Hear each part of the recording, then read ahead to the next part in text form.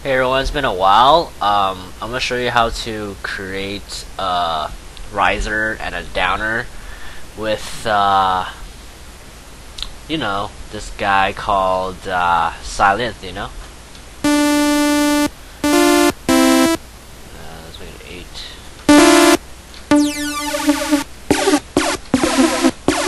Yeah, you get it.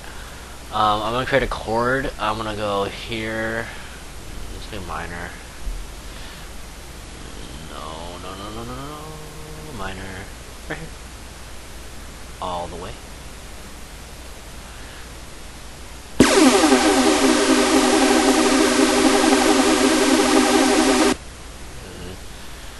Kind of messy, but you get it.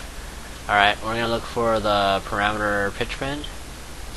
In here, you go to click this, browse parameters, and then you look for pitch bend.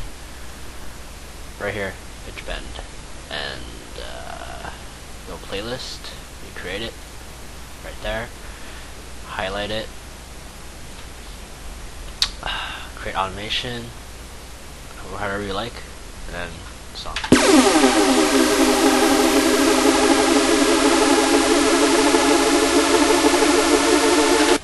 See, it sounds like it's uh, rising. It's like uh, basically, it's like you know, do re mi fa sol. It's like that. It's going higher. That's what you're trying to create with this automation right here. You get it? Okay.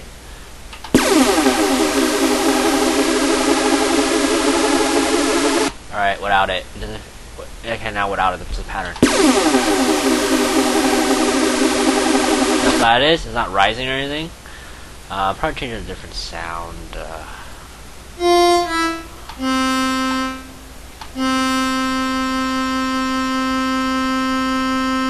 The same boring C minor note. Now it's just.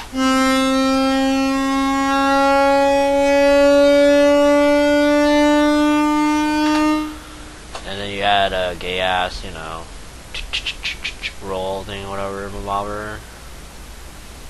You get it, you know, one of these.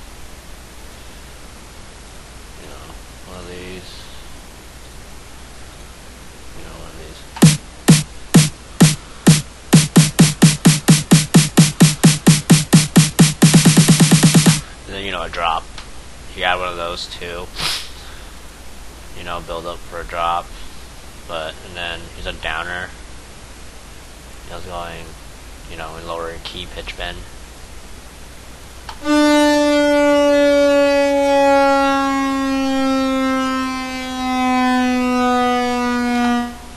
Yeah, it's pretty useful with Sylenth because uh, it's Sylenth, man. It's the best synthesizing instrument in the world.